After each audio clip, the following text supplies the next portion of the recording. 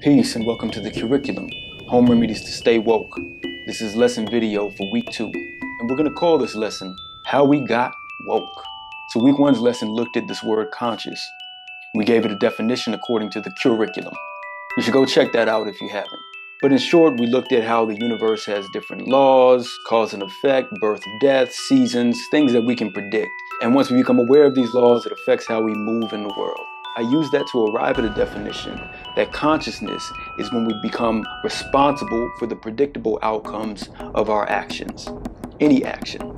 It doesn't just affect what happens here, but affects what happens somewhere else. Things that happen now will affect what happens somewhere in the future. You get it? Now, if you find these videos to be helpful, or if that it could be helpful for anyone else, please hit the like button and subscribe.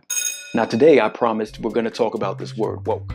Having watched the lyric video for Shepherds, the assigned reading for week two, you already know that it deals with this idea of how the label woke came into existence, making it on popular TV, film, music, and even the title of this course. Hmm. But how did this happen? And how do we describe conscious? What is woke actually describing? Now, in a very short amount of time, I'm going to do my best to shed light on all these areas of woke. Now, realizing by definition, this is still a slang term.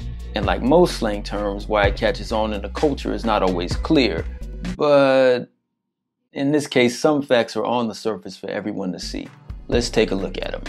The word woke gained popularity somewhere around the midpoint of the last decade via social media, and particularly Twitter with the hashtag StayWoke.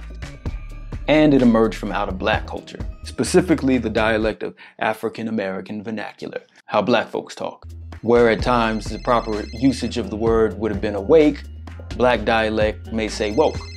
As in, nah, when you called me, I was already woke.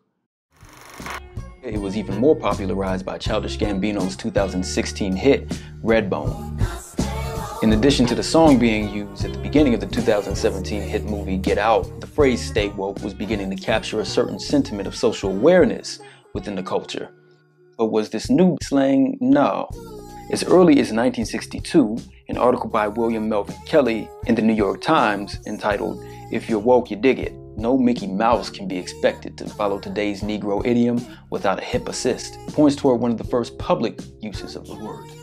And even in 1942, the first edition of the Negro Digest magazine, later known as Ebony Magazine, reportedly used the word woke when writer J. Saunders Redding was discussing the matter of labor unions. But perhaps its first recorded instance of use in association with music can be found on archived recordings of the blues and folk musician Leadbelly.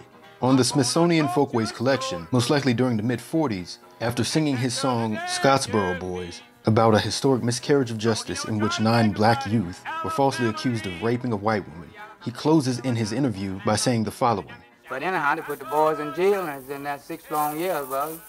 So I made this little song about down there. So I, I advise everybody to be a little careful when they go along through that, but stay woke, keep their eyes open.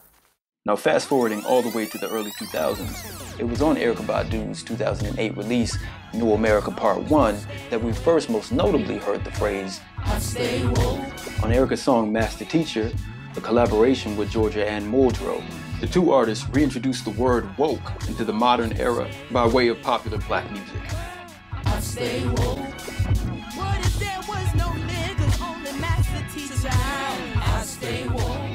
And most accurately, we might need to credit Georgia Anne for the creation of the lyric and use of the phrase in the song. Keep that in mind, we'll come back to it. wait, wait, wait, hang on. Can somebody please hit the lights real quick? One quick thing for those of you taking notes. Please recognize that at the CUREiculum, all references and sources have links in the description below. Alright, now back to this history lesson. And so, the 2008 song Master Teacher is credited with introducing the phrase stay woke to popular culture, using the word in the same cultural context as William Kelley and Leadbelly did. So with the killing of Trayvon Martin in 2012 and the acquittal of his shooter George Zimmerman the following year, coupled with the Black Lives Matter movement by 2013, the 2014 fatal police shooting of Michael Brown in Ferguson, Missouri, and the subsequent uprising, we start to see the phrase become a hashtag with regards to social movement and the rising awareness of social injustices within the culture. Now, being woke or awake as a figure of speech to describe consciousness was not new. 41 years before Childish Gambino's song Redbone, another hit song highlighted the idea of consciousness being akin to being awake. Wake up, everybody, no more sleeping. Teddy Pendergrass sang Wake Up Everybody for Harold Melvin and the Blue Notes in 1975, calling for a rise in social consciousness and awareness for all people. And that song comes on the heels of what would have been one of the most socially conscious and motivated periods in American history. Social awareness coming right out of the 60s. Ten years before that, Martin Luther King Jr. delivered a commencement address at Oberlin College. The title of his commencement address was Remaining Awake Through the Great Revolution, in which he stated that the great challenge facing every individual graduating today is to remain awake through this social revolution. We can take it a little further.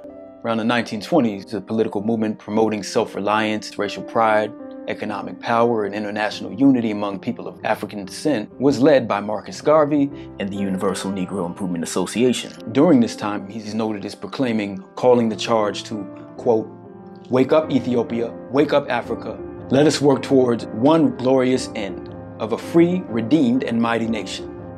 So you get it. This charge for social consciousness within the minds of black people has practically always been used synonymously with being awake. And by 1988, Spike Lee, with his film School Daze, famously ends with the phrase, Wake up! As Laurence Fishburne and the cast break the fourth wall, urging the audience to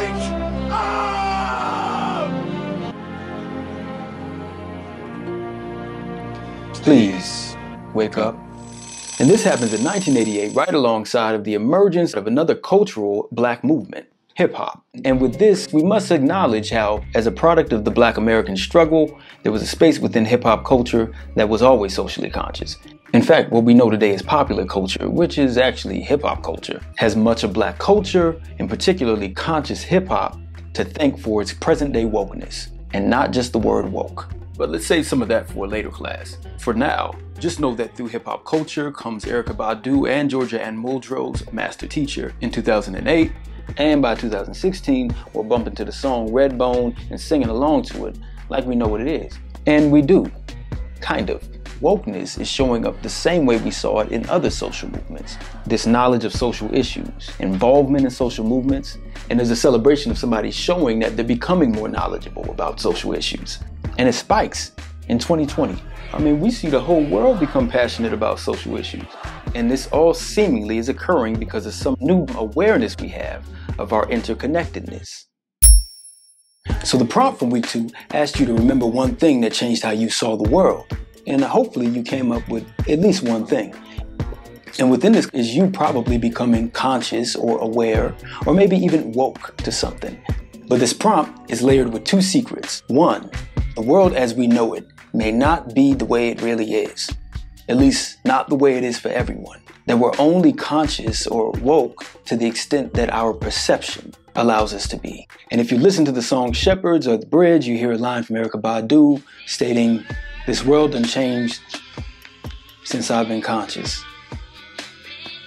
Now, the world may have not really changed, but to her, it has. So, new information can change our perspective, which then gives us the recipe to become conscious. However, having knowledge alone does not make someone woke. The challenge is to keep it going. And here's the little known fact. When asked about her lyric from the song Master Teacher, Georgia Anne Muldrow revealed that she wasn't singing, I stay woke, but I'd stay woke.